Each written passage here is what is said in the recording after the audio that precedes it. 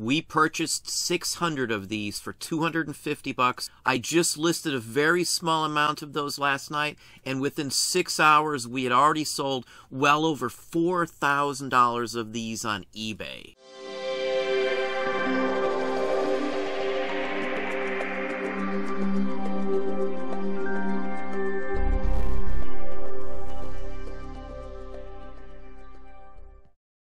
Hey, it's Don here. Today we're going to talk about something that literally most of you would think is junk. I even hear it, I see people that post that underneath my videos when I talk about stuff like this. But routinely, they make us a small fortune. Now today we're going to talk about something I've shown before. These date back to the Victorian era. Most people wouldn't assume something like this would be worth very much money. Some of these have some damage. These are not complete. They're missing flaps and the whole works. They've been flattened out. These were acquired in a big, huge lot. I actually spent 250 bucks for about 600 of these from a collector. I've even bought more items from that very same collector after this purchase here. Now these have been in my inventory for quite some time and have not been listed. Now when we first purchased these, I listed about a third of the collection we had. We made a ton of money. We went ahead and listed just a small portion this time. The prices are extremely high on these. They are selling for far more than they ever have in just a very short period of time. Within six hours, we had already sold over $4,000 of these. Since then, we've sold hundreds of dollars more. So it's a high potential of making around $6,000 within a day or so on these items, these junk items, within just a day's time frame. Again, $250 investment on this targeted sourced item. We'll show you some close-ups. We'll show you some of the sales as well. Now these are my listings here in the hub. I'm in my store right now. You can see quantity zero for most of them. You can also see that they were just listed hours ago and they're already sold here. Now here's the sales records themselves. You can see what they went for basically. Quite a few different people bought them, so it was a fight over some of them. A large chunk of them went for my asking price.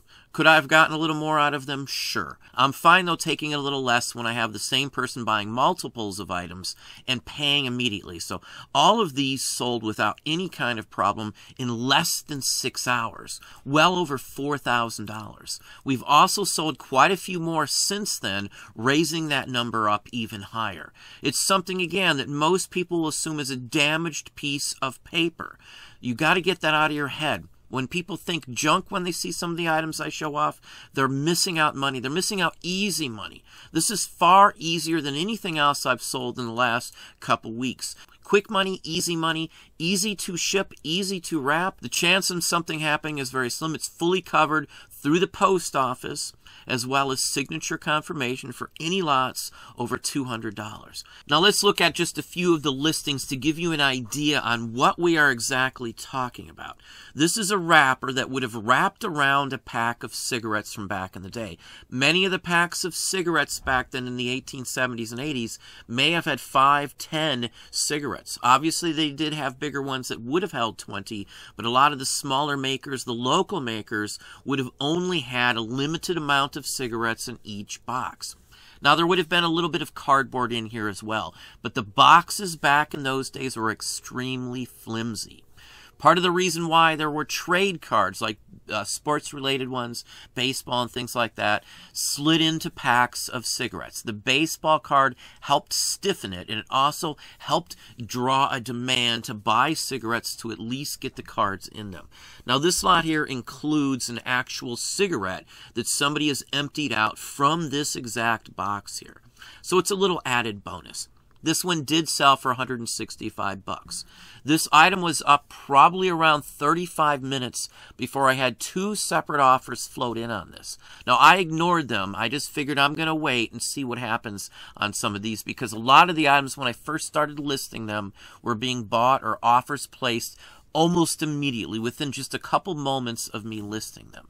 So, and some of them were actually selling that quick at full cost, no offers, no nothing. For me, we've sold this type of item for many, many years, so I do get a good sense on the value. The highest ones that I've ever seen selling in this category of basically a cigarette pack or cigarette pack wrapper are around $600 max. And those are for baseball related ones from the same time frame. So price factor, those are worth six times what the average ones of these are at the very, very bottom end. So price wise, I got the top dollar for these on all of eBay and all of the record that I can personally find on these. Now, uh, who knows? Maybe I could have got some more money out of them, but I'm not greedy. I would rather have a bird in hand than two in the bush, and this was easy, quick money.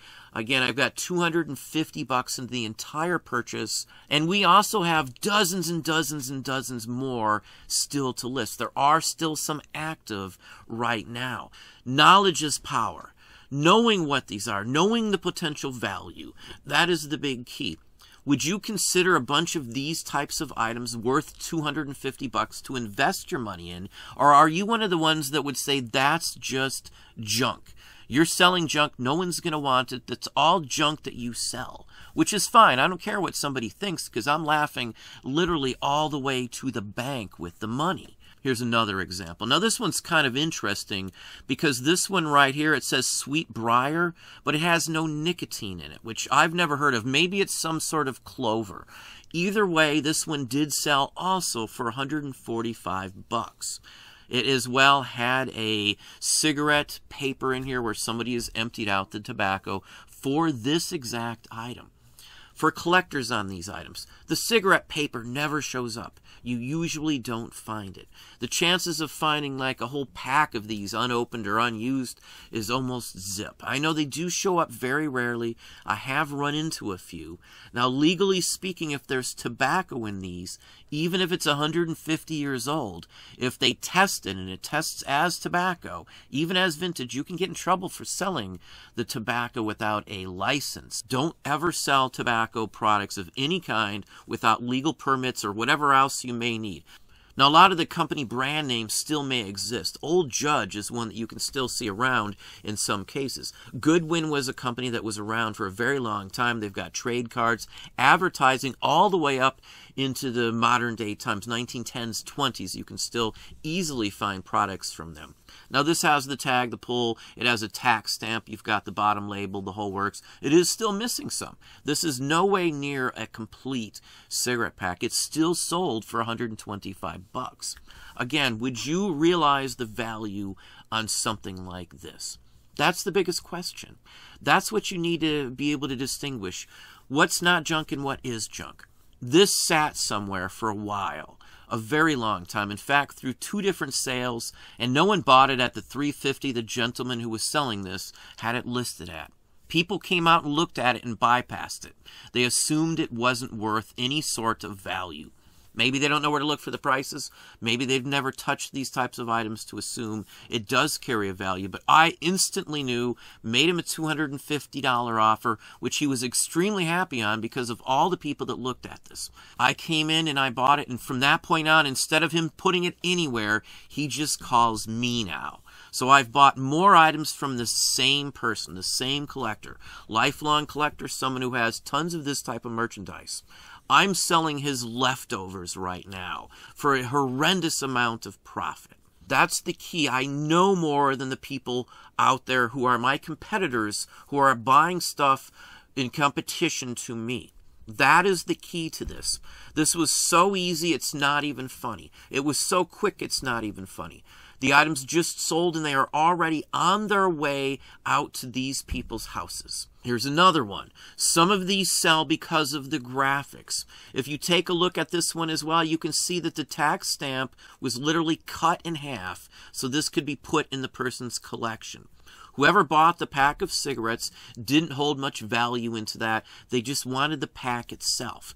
Not that the stamp's worth anything in this one, but it does kind of in my opinion, kind of ruined the, the appeal to some extent. It did sell for full price. 130 bucks for this one. Again, within minutes of it listing. You have to list the details. The biggest factor on anything tobacco is who made it. R.J. Roberts is who made this one.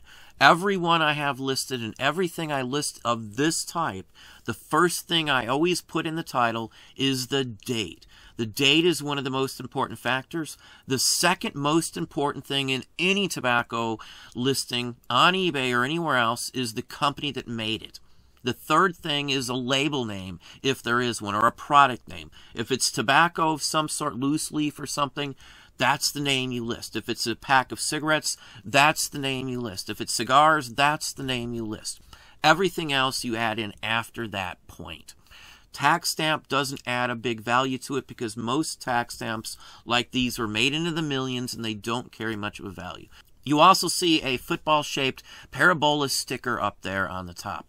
That is many cases how they seal these. Many times people collected just those as well, which I was able to acquire a collection from the same person of those exact items also. And just one more example here. It has the cigarette paper from a cigarette and the actual box itself. Now this one is missing one of the flaps, but it does actually have all of the main cardboard on both sides. You can see the middle section there for the one side and then the far right section also. Now there would be another box on some of these that slid into here or paper cardboard that would be folded into this that wouldn't actually be attached to the actual cigarette part here, the cigarette wrapper or box section. There does seem to be a little flap missing either way you go, but still, $135 on this. This is, I promise you, something most people think is junk. Even just that cigarette paper there at the top that may be ripped and have some gunk on the one end or something, that could have still netted me five or ten bucks on its own. And it's not in great condition. You might not have even known what that is. So that's another factor you got to think about. People don't pay attention to things like that.